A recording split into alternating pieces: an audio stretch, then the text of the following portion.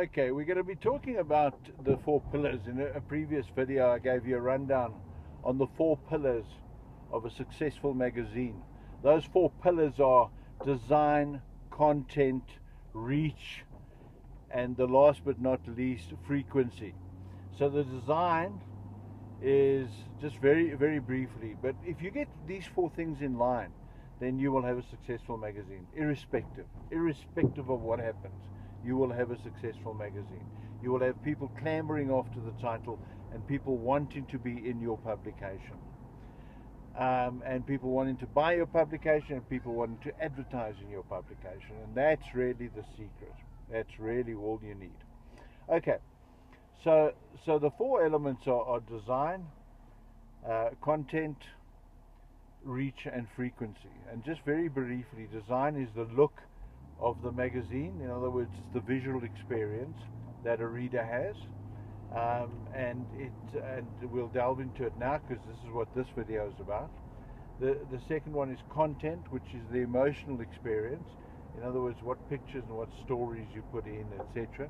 The third one is is reach. In other words, circulation. Are you getting to the right audience, and are you making sure your magazine's out there and in front of people? so people can comment and etc. Um, and and the last one, of course, is frequency. In other words, how often are you bringing out your mag? If it's an annual publication, then understandably once a year. But anything but an annual, anything after that, you you you need to at least bring it out quarterly. Otherwise, you lose your brand equity. People forget about the magazine. They forget all the good things about the magazine. So you need to sort that out. Okay, so let's quickly just deal with design. So design is the visual experience, and, and I've said in a video before that uh, a, a, little story. If, if you're walking down the road and um, and it's a rainy day and there's water in the gutter down the road, and you see um, a, a torn out page of a magazine, and you must be able to recognize what magazine that's from without looking at the page folio number or name or whatever. You must just be able to see, oh wow, if that's uh, that's from that specific magazine, um, and that's that's to do with design. So design is a personality. A magazine has a personality. It's a visual experience. Um, um, you know, it involves fonts. It involves color. It involves white spaces. It's how you lay out your pages, etc. And of course, you, you need a uniformity. You need some kind of uniformity in all your fonts. You need a uniformity in, in your, your color usage, etc. And it needs to be adapted to your, your what we call the perfect reader. In other words, the one person who would subscribe without hesitation to your publication is, is the perfect reader. And I'll give you an example of that if, for example, your uh, uh, magazine is is about um, vehicles, if your magazine's about cars, etc., then then uh, actually it's a bad example. Let me think of a better one. If your magazine is about fashion, if it's a, a female fashion magazine, then your your ultimate reader is, is the fashionist, is the person who buys fashion. So what would that personality, what colors would they like to see on a page? What, etc. You know, one of the magazines we publish is about nails. When I say nails, I mean these nails. So, so um, it's called Absolute Nails. So it's purely for the nail technician.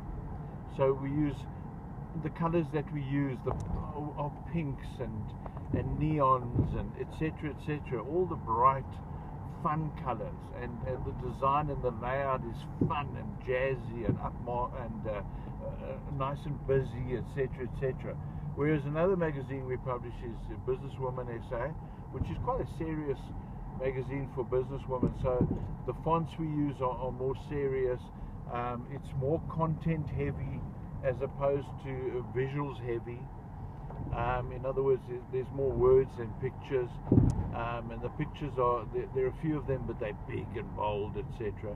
Whereas, uh, um, so so because of that, your your your, your story content, etc. You've got to use a font that's nice and easy on the eye. It doesn't uh, it doesn't exhaust the reader, or it's not glaring or anything. Whereas with um, with uh, Absolute Nails magazine, it's totally the opposite. You want colours that jump out. You've, you've got less script and much more pictures.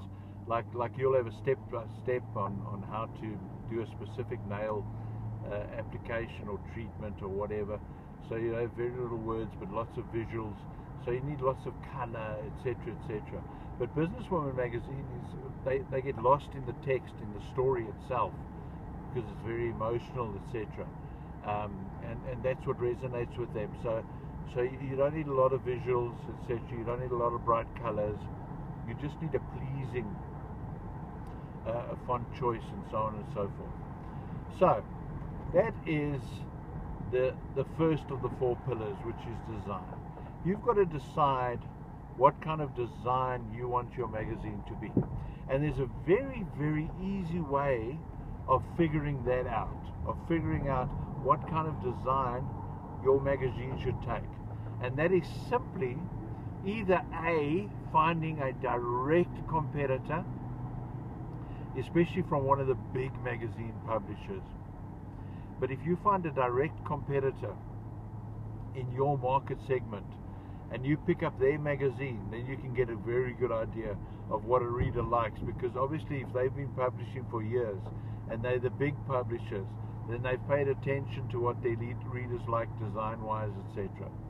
Alternatively, if there isn't a, a, competitor in your market space, or the competitor you pick up the magazine of um, in, in your marketplace, um, if you think that competitor has made a mistake, if you think their design is wrong, you think it's all wrong for the market, etc., then throw away that. And the, the alternative, plan B, is to find a magazine that is read by the same kind of reader.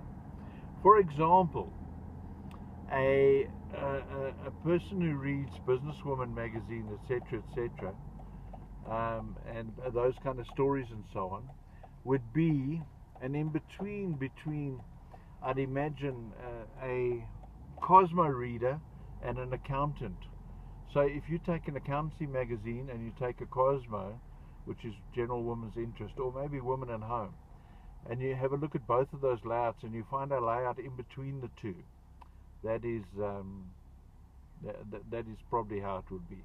But but the best is to find a magazine that is read by the same kind of reader and a magazine that's been in the marketplace for a long time because well not too long if you want if you've got a magazine that's been in the marketplace for 40 years then it's it's uh, it's not a given that they've kept themselves updated with design etc etc so preferably uh, and uh, and preferably from from somewhere in the world where, where there's enormous readerships so find a magazine that's circulated in New York or in the UK um, don't find a magazine that's circulated in some little town in, in southern Russia because they won't have the design, the latest design and font usage, etc., that you need.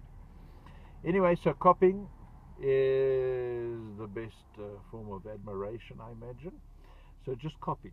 Just, well, not copy exactly. You've got to tweak it to be perfect with yours. Okay? Then uh, the last thing I wanted to say about design, which is equally important, is, is uh, involves the production process, and that is this: once you've created a template, etc.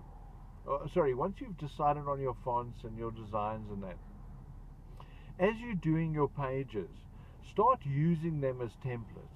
In other words, you, you put together your first page and oh, you're happy with it and it's a wonderful article or whatever the case may be. Remember, design only applies to your editorial pages, your editorial or advertorial pages.